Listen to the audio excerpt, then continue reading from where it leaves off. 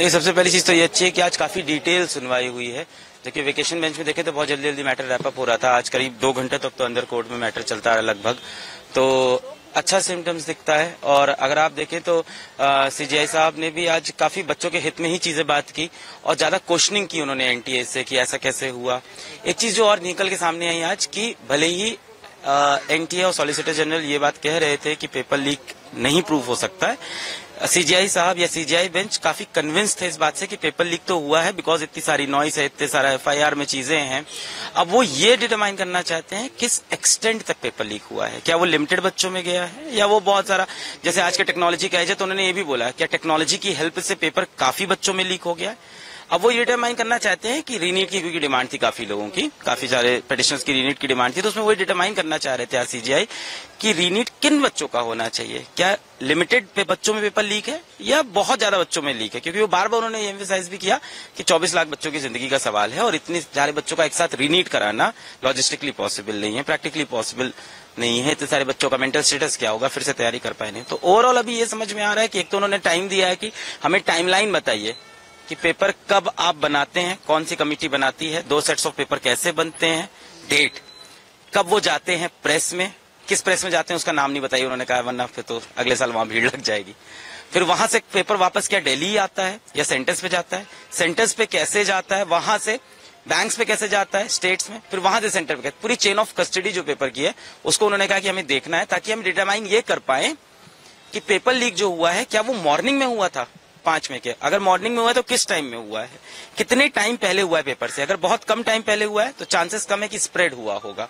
और अगर थोड़ा ज़्यादा पहले हुआ है तो चांसेस ज़्यादा स्प्रेड हुआ होगा। और उन्हें यह कंक्लूसिव प्रूफ यही चाहिए अब कि पेपर कितने बच्चों में लीक हुआ है, पहुँचा है कि नहीं। बाकी एक और चीज़ बड़ी अच्छी बोली, जो डिमांड हम सब भी बहुत टाइम से कर रहे थे, उन्होंने ये भी कहा है कि आप अपने डेटा की एक बार एनालिटिक्स की ऑडिट वर्ड तो यूज़ नहीं किया, उन्होंने कहा अपना डेटा एनालिटिक्स पूरा चेक करिए और उसमें इरेगुलरिटीज ढूंढिए। कहीं ना कहीं ऐसे आपको पैरामीटर्स रेड फ्लैग मिल जाएँगे अपने डेटा के अंदर कि ऐसा हो कि 700 के ऊपर जो नंबर है, वहाँ पे नंबर ऑफ़ स्टूडेंट्स या percentile of students last year से इस ईयर ज़्यादा बढ़ा हो, जो कि है एक्चुअली है। इस तरह की चीज़ उन्होंने कहा कि आप डिटरमाइन करके देखिए कि आपके डेटा के अंदर क्या क्या रेड फ्लैग्स दिख रहे हैं जो हर साल नहीं होते थे।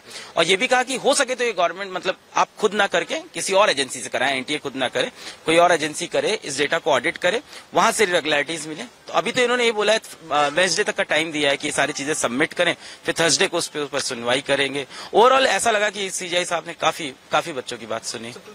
कहा चीफ जस्टिस की अगर बात की जाए कि उन्होंने कहा कि 24 लाख छात्रों के भविष्य सवाल है हम्म। हमें हर चीज़ जो है वो तह तक जाकर हम्म। होगा पेपर कब लीक हुआ पेपर लीक होने का नेचर का क्या था कहाँ लीक हुआ किस तरह से लीक हुआ ये तमाम बातें हैं। इसके अलावा सुप्रीम कोर्ट ने ये भी अपने ऑर्डर में लिखवाया है कि जो उल्लंघन हुआ है वो सिस्टमेटिक तरीके से हुआ है। यानी जो ब्रीच हुआ है पेपर को लेके उसमें वो सिस्टमेटिक तरीके से हुआ है पूरी परीक्षा को प्रभावित किया है या नहीं किया उल्लंघन ये तमाम सवाल जो है वो पूछे हैं। इसका कारण ये रहा क्योंकि 2015-16 का जो मैटर है जहाँ पे री टेस्ट हुआ है एआईपीएमटी में, वहाँ पे ये एक्सेप्ट ये लिखा गया था मान्य कोर्ट के जजमेंट में कि सिस्टमैटिक फेलियर था।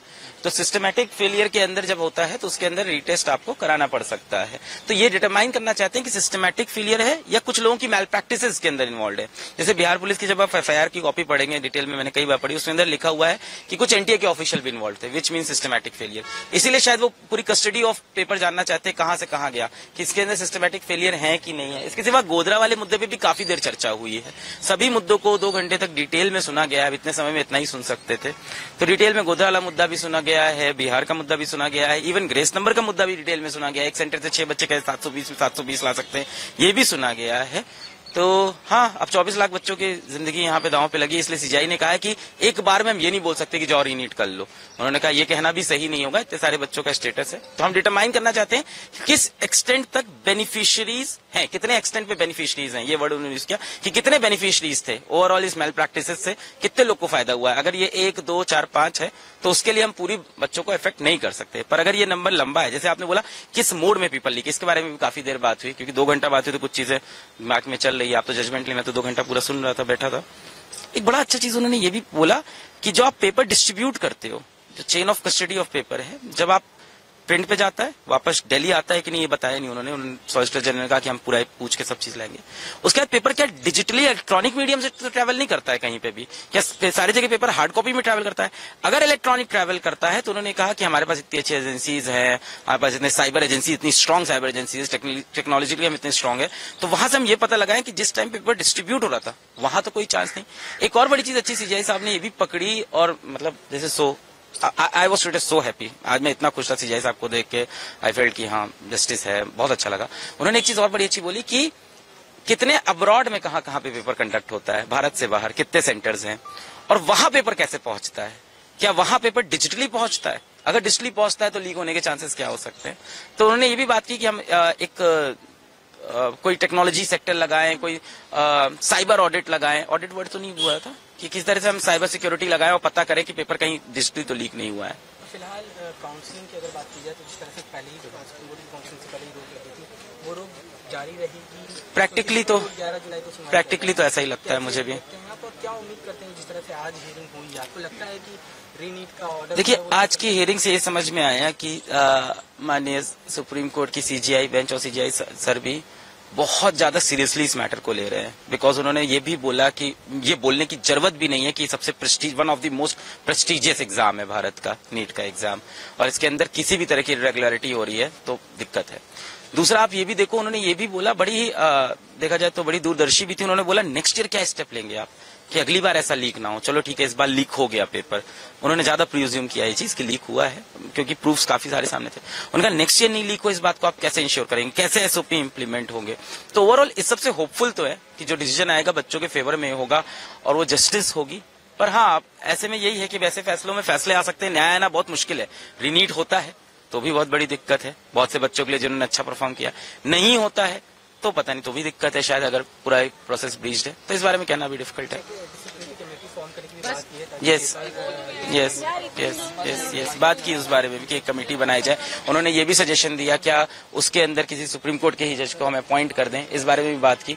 हाँ इसके बारे में बात की है कि ऐसी कोई कमेटी बना जाए। बट अभी तो सीबीआई से ही मांगी है इंस्टेंट रिपोर्ट और सारे डेटा मांगे हम्म, ठीक है। बातें की है और जिस तरह से समय दिया है इस मैटर को लगभग दो घंटे तक सुनवाई चलती रही। बहुत डिटेल में सुना, काफ़ी पेटिशनर्स की बातें सुनी डिटेल में मुद्दा सुना एनटीए से बहुत सारे क्वेश्चन किए एक एक क्वेश्चन करके जानना चाह रहे थे वो डिटेल में क्या हुआ है।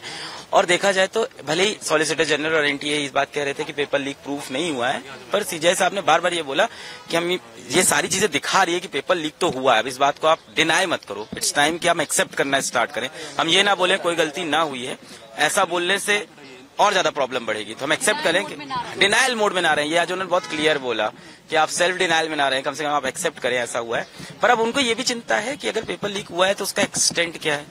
उसका फॉर्म क्या था? किस तरह से लीक हुआ है? कितने बच्चों तक पहुँचा था पेपर और उसकी टाइमिंग क्या है? इसके लिए उन्होंने देखा एनटीए से ये सवाल पूछा कि पेपर कौन बनाता है? पेपर छपने कहाँ जाता है? कब जाता है? कहाँ जाता है? उन्होंने कहा मत बताना वरना अगले साल भीड़ लग जाएगी। कब जाता है, वहाँ से वापस क्या दिल्ली आता है, फिर वहाँ से वो कैसे स्टेट स्टेट ट्रैवल करता है, कैसे बैंक में जाता है, कैसे सेंटर यानी चेन ऑफ़ कस्टडी जो है पूरे पेपर की, वो जानना चाहते हैं ताकि उससे वो डिटरमाइन कर सके कि क्या वहाँ पे कहीं ब्रीच हुआ है, क्या कोई सिस्टमैटिक फेलियर है, जिसकी बात काफ़ी देर आज कोर्ट में हुई कि सिस्टमैटिक फेलियर है इस प्रोसेस के अंदर। तो इसके बारे में सीजीआई साहब जानना चाहते हैं कि कोई सिस्टमैटिक फेलियर हुआ है इसके अंदर? एक और बड़ा अच्छा क्वेश्चन उन्होंने पूछा जो आउट ऑफ़ द बॉक्स हो गया हम सब के लिए इनमें एनटीए के लिए भी और पिटिशनर्स के लिए भी, कि ये बताइए बाहर कहाँ कहाँ एग्ज़ाम होते हैं इंडिया के बाहर। और वहाँ पेपर क्या डिजिटली जाता है, या वहाँ हार्ड कॉपीज जाती है? और डिजिटली जाता है तो हम ऐसा कर सकते हैं कि भारत में टेक्नोलॉजी बहुत स्ट्रांग है हमारी, हम साइबर सिक्योरिटी लगा के पता करें कि कहीं ऐसा तो नहीं, कहीं डिजिटल फॉर्मेट से पेपर लीक हुआ हो। पेपर लीक की टाइमिंग के अराउंड बहुत ज़्यादा उन्होंने कंसर्न दिखाया है कि पेपर लीक कब हुआ, एक रात पहले हुआ है, या पेपर से कुछ घंटों पहले हुआ है। उन्होंने कहा अगर दो चार बच्चों को गया है तो फिर तो हम ऐसा एक्शन नहीं लेंगे कि रीनीट करा दें। हम उन बच्चों का रीनीट करा देते हैं। उन्होंने कहा अगर कोई प्रोसेस है जिससे आप ये पता लगा सके कि कितने बच्चों को पेपर लीक मिला है और कितनों को नहीं मिला है तब तो ठीक है सेग्रीगेशन सेग्रीगेशन कैसे होगा? बिटवीन द लाभ मिला किनको नहीं मिला उन्होंने उसके बारे में उन्होंने बोला between the tainted and untainted के बीच में अगर आप सेग्रीगेट कर पाओ तो ठीक है। तब तो अगर आपने सेपरेट कर लिया कि किन बच्चों को ओवरऑल इससे फ़ायदा मिला है बेनिफिशियरी थे इस, प्र, इस प्रैक्टिस से मैल प्रैक्टिस के। तो हम उनका रीनीट करा देंगे ऐसा कर देंगे। पर अगर आप नहीं पता लगा पा रहे हो टेंटेड और अनटेंटेड के बीच में तो इसके बारे में फिर सीजीआई साहब ने कहा कि फिर रीनीट ही ऑप्शन है क्योंकि यही 2000 पंद्रह का जजमेंट भी है कि अगर आप टेंटेड एंड टेंटेड में डिफरेंस नहीं पता लगा पा रहे हो तो आपको नहीं पता है कितने बच्चे बेनिफिशियरी हैं। उन्होंने भी बोला एक भी बच्चा एंटर नहीं करना चाहिए जो मैंने प्रैक्टिस से पहुँचे क्योंकि ये बहुत प्रेस्टिजियस एग्ज़ाम है। तो I think the court is moving in this direction कि उनको ये बिलीव है कि पेपर लीक है मैल प्रैक्टिस है। किस एक्सटेंट तक है वो ये पता लगाना चाह रहे हैं।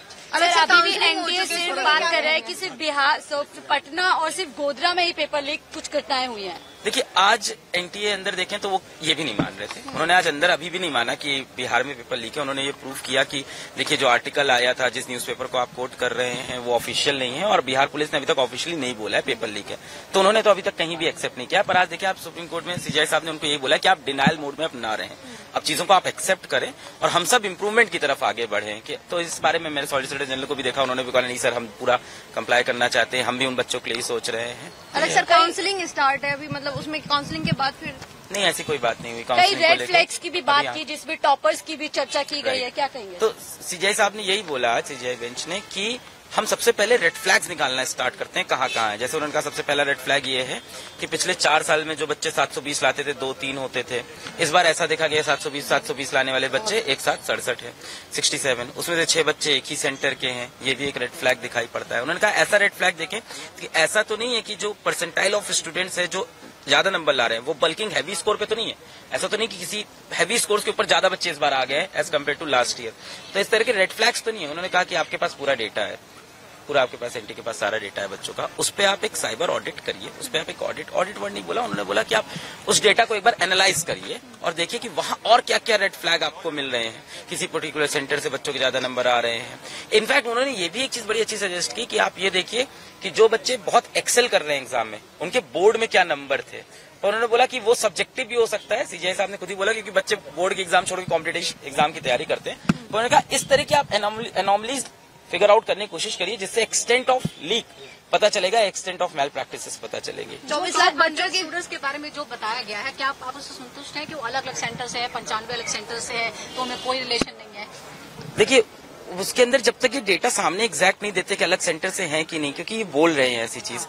अब अब इसमें कहेंगे आप क्रेडिबिलिटी पे क्वेश्चन क्रेडिबिलिटी क्वेश्चन पहले भी उठ चुका है। एनटीए बहुत बार अपनी चीज़ें बोल के फिर बात से पीछे हट चुका है मुकर चुका है। तो जब तक अब डेटा एग्जैक्ट सामने नहीं आता कितने बच्चे किस सेंटर से हैं तब तक इस पर बिलीव करना मुश्किल है। क्या लगता है सर रीनीट हो सकता है संभावना है अगर गुरुवार को सुनवाई होती है? जिस तरीके के सवाल उठाए गए आज। देख अभी मुझे जो लगा सीजीआई साहब का जो वहाँ पे जो बिहेवियर था उससे मुझे लगा कि उन, उनका ये सोचना है कि उन बच्चों का रीनीट करा देंगे जिन बच्चों को बेनिफिशियरी बने जिनको फ़ायदा मिला है पेपर लीक का। ये नहीं लगा कि उनको सबको मैं यहाँ पे रीनीट कराऊं सारे बच्चों क्योंकि 24 लाख बच्चों को फिर से तैयारी करना और फिर से प्रिपरेशन करना मेंटल स्ट्रेस देना उसके वो अगेंस्ट थे।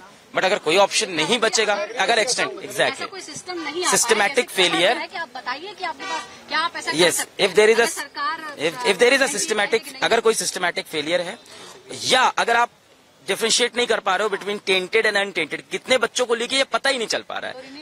मतलब लगातार अगर एनटीए ये बोलता रहा कि कुछ बच्चों को है तो नहीं चलेगा। आपको एग्जैक्ट प्रूफ करना पड़ेगा कितने बच्चों को फ़ायदा हुआ है और कितनों को पेपर लीक का फ़ायदा नहीं हुआ तो फिर अगर वो नहीं कर पाए तो रीनीट है ऑफकोर्स